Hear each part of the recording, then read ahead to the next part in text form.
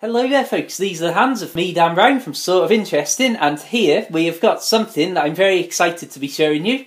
This, hopefully, I haven't seen it myself yet, so this is going to be the big reveal for all of us, is going to be a cross pen, and this is the Classic Century, this is the black with 23 karat gold finishings version.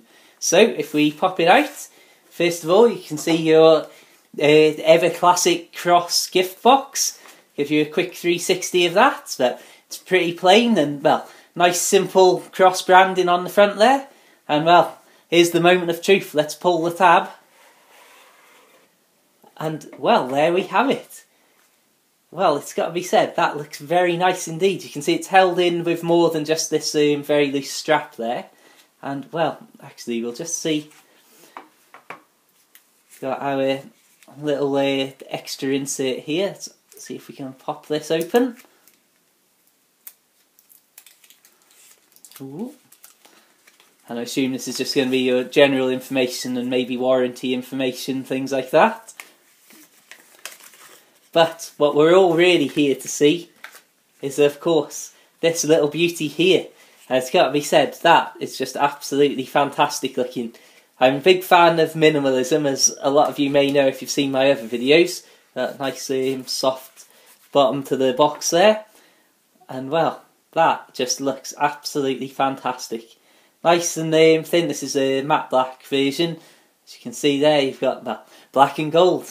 And twist to obviously fetch the nib out. This is a standard ballpoint pen. So forgive my shaky hands here, but if we have a closer look, you can see there you've got the cross branding on the clip. If we give you a general 360, it is pretty much what you'd expect. It looks absolutely fantastic. Gotta be said, like I say, I love me minimalism and all that sort of stuff. So if we give it a twist now so that you can see the nib in action, um, it's got to be said, it seems as if you have to twist it quite far before the nib itself actually appears, which obviously is going to be a benefit, so it's not going to accidentally um, come out while you're carrying it around with you.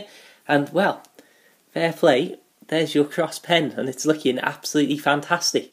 So that's been a very quick look at the uh, Cross Classic Century pen, uh, black and 23 karat gold version.